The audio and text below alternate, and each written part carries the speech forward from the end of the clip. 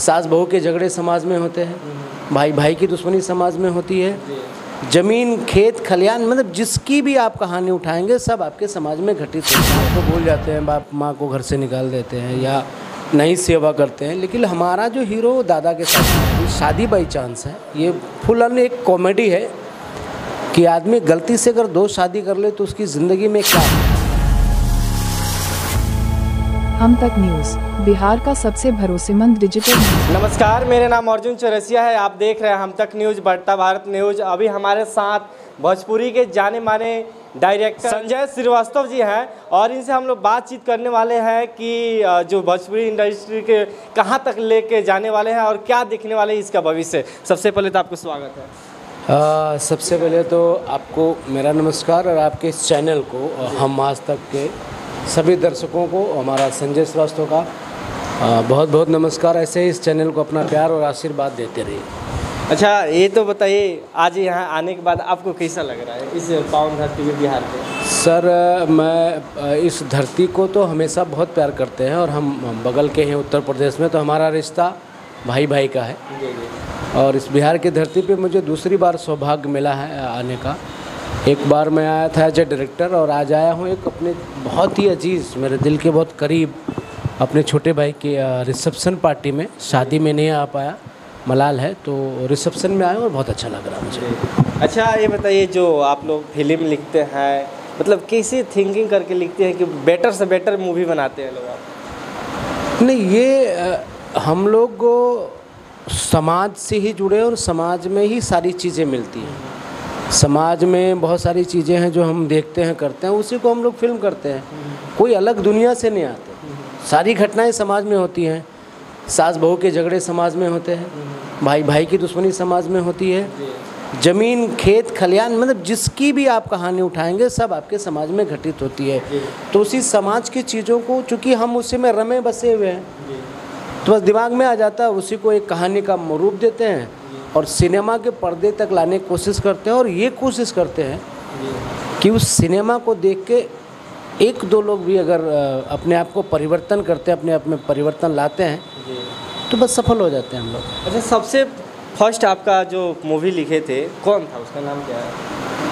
Movie मैं तो अभी फ़िलहाल एज ए राइटर नहीं लिखा हूँ कोई भी। मैं as a director as a निर्देशक ही काम करता हूँ।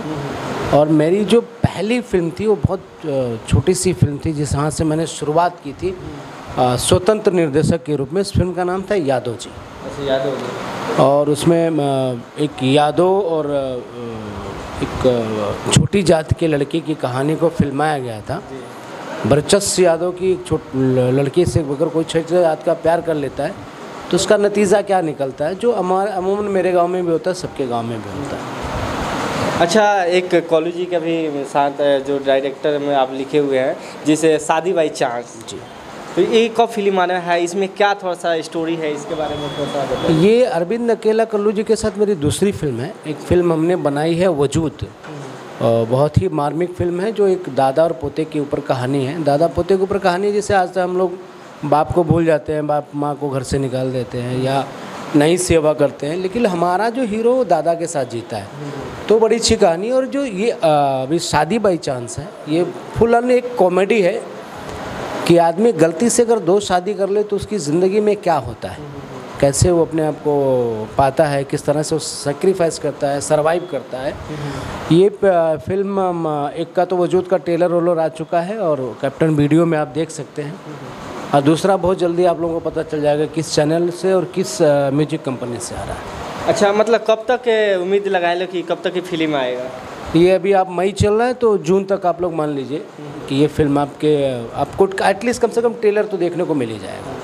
अच्छा एक और सवाल आपसे है कि आप कितने हीरो के साथ काम कर चुके हैं? लगभग लगभग सबके साथ काम कर लिया हूँ और अभी मैं काम अगर नहीं कर पाया हूँ तो हमारे अभी करंट टाइम में जो रन कर रहे हैं वो लेजेंडरी दो एक्टर बचे हुए हैं। दिनेश लाल यादव निरहुआ जी और खेसारी लाल यादव। बाकी तो जितने भी अ, अ, मार्केट में हैं रन कर रहे हैं सबके साथ हो गया मेरा खेसारी जी के साथ हो गया? नहीं खेसारी जी के ही साथ नहीं हुआ और दिनेश लाल यादव निरहुआ जी के साथ नहीं हुआ। अच्छा पवन जी। जी पवन जी के साथ मैंने एक फ़िल्म की है राजा। यस। राजा बाबू नहीं सिर्फ़ राजा। राजा। राजा किया उनके साथ में। और यश मिश्रा के साथ में परवेश लाल अरविंद अकेला कल्लू क्या नाम है? अपना रितेश पांडे जी तो लगभग लगभग सारे लोगों के साथ में काम हो चुका है। अच्छा जिस तरह से अ, ये अभी होता है कि भोजपुरी इंडस्ट्री में अश्लीलता को मतलब बढ़ावा दिया जाता है या अश्लील भो- गाना भी गाया जाता है इस पर आपको क्या कहना है? नहीं मैं उस धरती पे बैठकर ये बात बोल रहा हूँ बिहार में। जी। तो अगर आप गौर से देखेंगे सिनेमा को जी। फ़िल्म को तो फ़िल्म में अश्लीलता नहीं। हमारा भोजपुरी समाज जो है वो बदनाम सिर्फ़ एल्बम की वजह से है।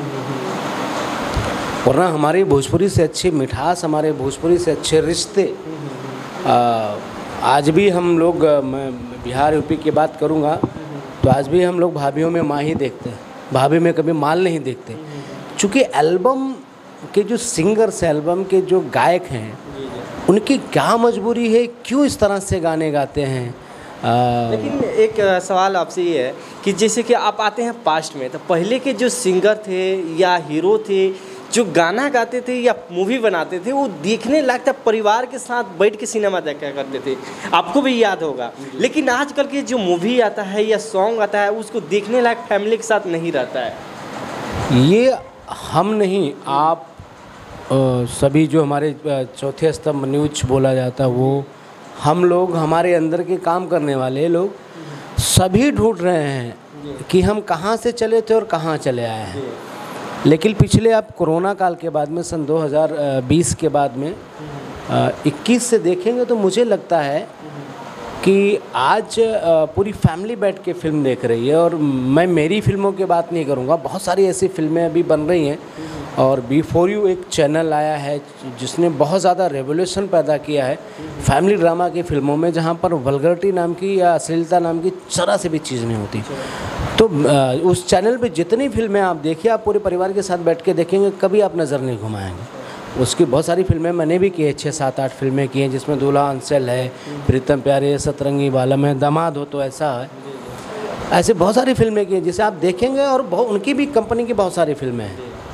और अमूमन अभी अभी के माहौल में हम लोग अपने आप को ग्रोथ कर रहे हैं।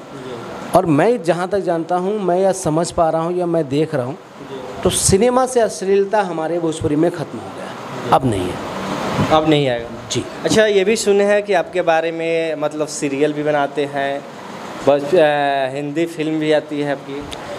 हाँ बनाते हैं सर लेकिन वो थे अभी बना नहीं रहे हैं। अभी तो मैं पूरी तरह से अपनी जो मेरी माँ बोला करती थी लैंग्वेज भोजपुरी मैं पूरी तरह से उसी को आत्मसात करके कर रहा हूँ। भविष्य में कुछ प्लान है कि कुछ हिंदी भी किया जाए कुछ और भी लैंग्वेज की फ़िल्में की जाएँ? उसमें सफलता कहाँ तक मिलती है वो देखते हैं। अच्छा एक सवाल और पूछते हैं। भोजपुरी मूवी बनता है या था इसका मतलब भोजपुरी का मतलब क्या होता है? ये थोड़ा सा हम लोग को भोजपुरी में समझा दीजिए। बड़ा कठिन सवाल है कि भोजपुरी में सिनेमा बनता है और भोजपुरी का मतलब क्या होता है? किसी भी सिनेमा का जो लैंग्वेज होता है वो कोई मतलब नहीं होता है। सिनेमा बस क्या होता है? हमारे एक समाज का आईना होता है। हमारे समाज में जो घटित होता है, वो मैं एक साथ कई लोगों को दिखाने का एक ज़रिया होता है। जैसे अभी रिसेंटली एक फ़िल्म आई है केरल स्टोरी उसके पहले बहुत सारी फ़िल्में थी। तो केरल स्टोरी हम लोगों ने सुना हुआ है कि ऐसा हमारे समाज में होता है। लव जिहाद है, धर्म परिवर्तन है। हो सकता है हमारे आसपास में वो घटनाएँ नहीं घटी हों। लेकिन वो घटनाएँ कहीं हैं तो वो एक ज़रिया बनाएगा कि भाई सिनेमा को एक ज़रिया बनाएगा कि आप लोग सिनेमा को देख के समझिए। और भोजपुरी, चूँकि भोजपुरी में मैं हूँ तो हमारी एक अपनी भाषा है, जिसको हम लोग घर में बोलते हैं यार दोस्तों के साथ बोलते हैं तो अच्छा लगता है उसको बनाना। अच्छा इसके बाद आपका कौन सा मूवी में काम करने वाले? हैं? सर अभी तो फ़िलहाल कोई ऐसी मूवी की प्लानिंग है नहीं क्योंकि मैं अभी फ़िल्में थोड़ा कम ही कर रहा हूँ। बहुत ज़्यादा फ़िल्में करने की कोशिश नहीं कर रहा हूँ। लेकिन अभी एक फ़िल्म का प्लान चल रहा है जिसके हीरो हैं आदित्य ओझा जी। जी। और अभी सिर्फ़ कंक्रीट पे बातें हैं कुछ फाइनल नहीं है तो बहुत ज़्यादा कुछ बोल ना पाने के लिए बातें हैं। बाकी कहानियाँ सबको सुना रहा हूँ चाहे खेसारी जी हैं दिनेश जी हैं। पवन सिंह जी हैं या जितने भी हमारे स्टार हैं जितने भी हमारे नायक हैं चाहे सिंगिंग करके नायक हों या जो भी हैं तो सबके टच में हैं। जब भी कोई हमको अच्छी सी स्टोरी मिलेगी ये हमारे कलाकार को अच्छी सी स्टोरी हमारी वाली लगेगी तो फ़िल्म शुरू हो जाएगी। अच्छा लास्ट में पूरी भोजपुरी समाज के लोगों से क्या कहना चाहते हैं? भोजपुरी समाज के लोगों से यही कहूँगा मैं कि जिस तरह से भोजपुरी सिनेमा को आप लोग प्यार दे रहे हैं उसी तरह से देते रहिए। और आप लोगों सबसे हाथ जोड़ के एक मेरा प्रार्थना है कि भोजपुरी में सिनेमा और एल्बम में आप लोग फ़र्क कीजिए। सिनेमा को एल्बम से मत आकिए और एल्बम को सिनेमा से मत आकिए। अच्छी सिनेमा बन रही है, जैसे आप लोग अभी तक प्यार दिए हैं, दे रहे हैं, वैसे ही देते रहिएगा। और मुझे आप लोगों के साथ के साथ विश्वास है, भोजपुरी समाज के साथ के विश्वास है कि आने वाले समय में हम लोग भी अपना नाम यहाँ रखेंगे, करेंगे कुछ ना कुछ। सब लड़ रहे हैं और आप लोग मनोबल बस ऐसे बढ़ाते रहिए। बहुत बहुत धन्यवाद कि आप मुझे समय दिए और मेरे चैनल पे। आपको धन्यवाद। जय हिंद।